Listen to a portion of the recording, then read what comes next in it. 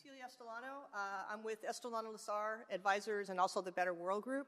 Uh, former CEO of the Community Redevelopment Agency of the City of Los Angeles back when there was redevelopment, um, and a longtime planner, land use lawyer here in Los Angeles. And we're supposed to look forward. So we've done a lot of looking back, um, and this is our opportunity to look forward, but you can't really look forward without understanding what's really happened in, in the past. So we're going to start off with um, um, Alan, I mean, Christopher.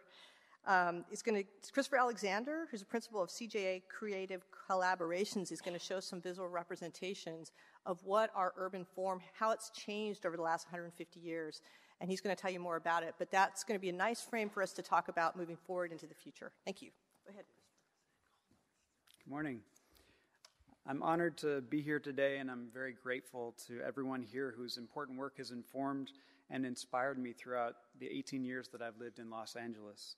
Before launching my creative consulting agency four years ago, I was an architecture and design curator at the Getty Research Institute. When my colleagues and I began planning our exhibition, Overdrive LA Constructs the Future, 1940 to 1990, the first thing we had to do was convince the museum that this was a worthwhile project to feature in the Getty Center's art galleries. Before we showed them images of the beautiful drawings, photographs, and models we hoped to include in the exhibition, I knew that I had to clearly explain how this vast metropolis was different than other cities and reveal how LA was able to transform from this in 1935 to this in 1955. So I created this diagram illustrating how the polycentric city of LA grew over time.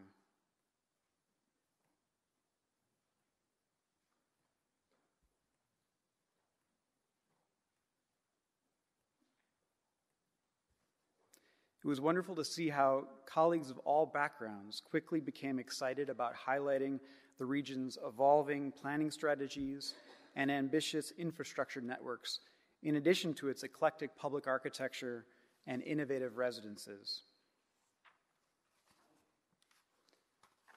My goal was to develop a refined version of this animated diagram, which would introduce our diverse visitors to the complex LA landscape as they entered our first gallery.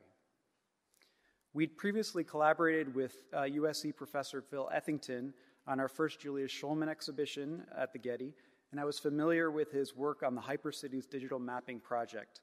My colleagues in the Getty Museum's digital media department and exhibition design department and I were fortunate to partner with Phil, Adrian Amler, and Samuel Kruger on the development of two animated maps, which I'm happy to share with you now, and which will help set the stage for this panel's conversation.